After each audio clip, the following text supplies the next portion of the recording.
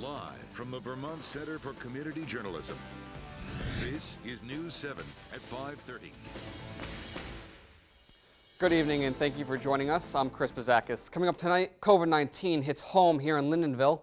Plus, Governor Phil Scott recently announced a second round of grants for businesses. Northern Vermont University is also reporting its first COVID-19 case at the Lyndon campus. A remote learning commuter tested positive late Tuesday afternoon. While campus has been available to this local student, their classes are remote and have not frequent, frequented the halls like their peers. we partner with the Department of Health. They take the lead on contact tracing. So we'll be waiting and standing by for any updates or requests from the Department of Health on next steps that we can take.